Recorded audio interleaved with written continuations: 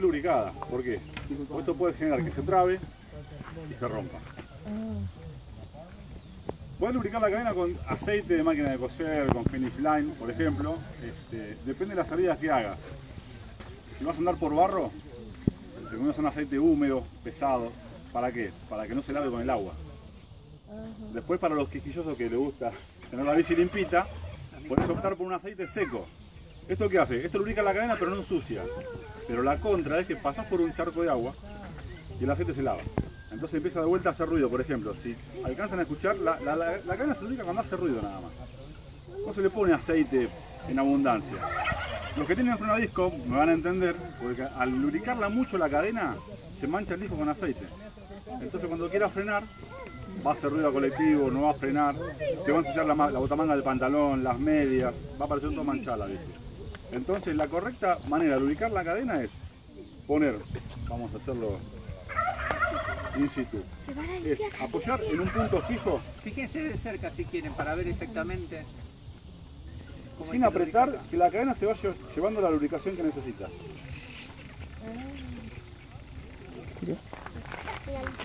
Después la hacemos girar un poquito la cadena. Y si nos pasamos o vemos que está muy pero muy húmeda, en la parte donde tiene movimiento la cadena, la abrazamos con un trapo y la hacemos girar un poquito.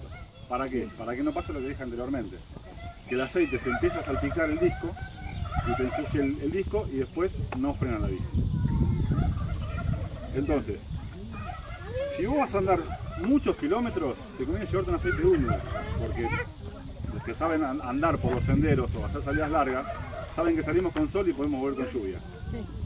Entonces, lubricás la cadena húmeda y no tenés problemas.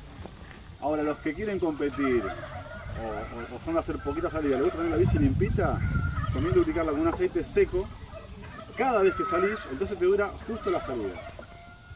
Si podés llevarlo en la mochila, en el camelback o atrás en el bolso, llevate el, el lubricante, porque eventualmente por ahí te agarra un chaparrón, pasaste un charco, por no te queda otra, se lava la cadena y empieza a hacer ruido.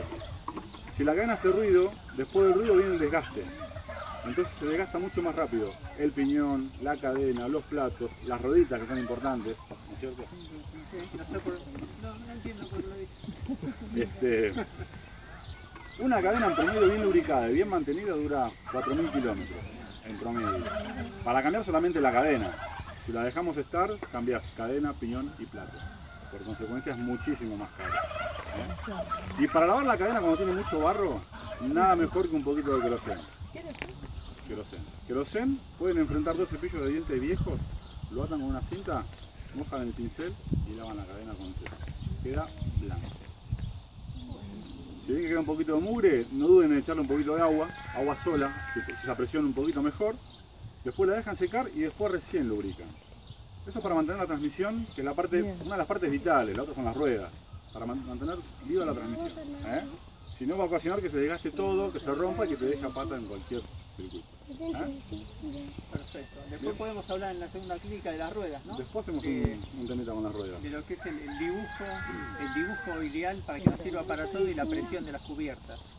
Es decir, para no rebotar tanto pero no comernos las piernas.